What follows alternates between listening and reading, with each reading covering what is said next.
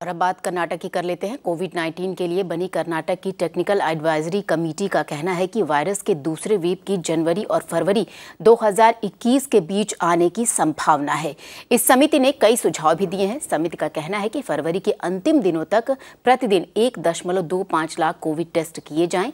साथ ही शादी समारोह और सांस्कृतिक कार्यक्रमों में लोगों की भीड़ इकट्ठा होने पर पाबंदी लगा दी जाए।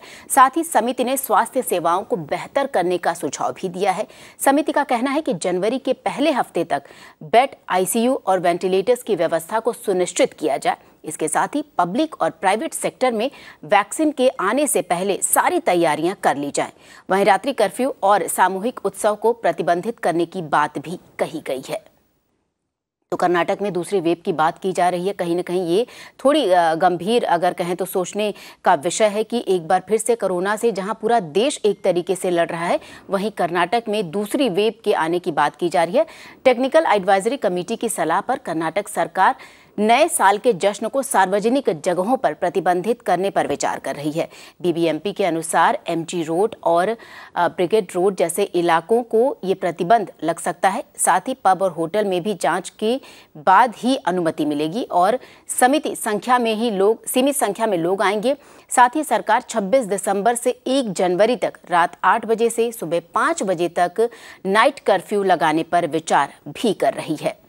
तो कर्नाटक में दूसरी वेब की जैसे बात की जा रही है और इस पर और ज़्यादा जानकारी ले लेते हैं हमारी सहयोगी नेहा। इस वक्त हमारे साथ जुड़े। जी नेहा दूसरी लहर की बात की जा रही है। आ, क्या कुछ अगर कहें राज्य सरकार की तरफ़ से सावधानियाँ बरती जाएँगी और कैसा क्या होगा उनका अगला कदम?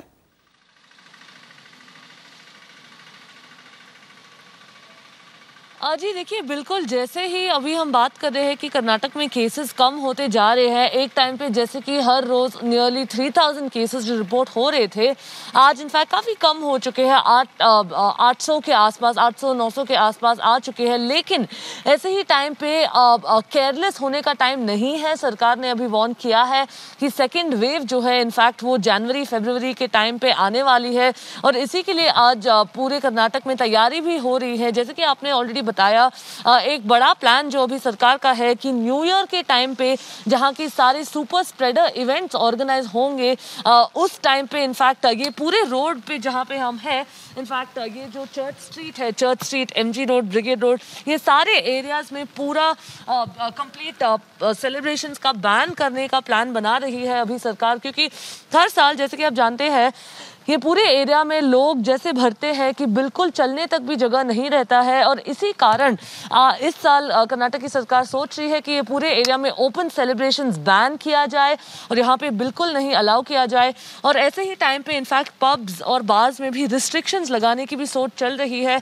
जैसे कि आप जानते हैं हर साल टिकटेड इवेंट्स जो रहते हैं जहाँ की पब्स हो या क्लब्स हो वहाँ पे टिकट्स बेचे जाते हैं न्यू ईयर पार्टीज़ के लिए।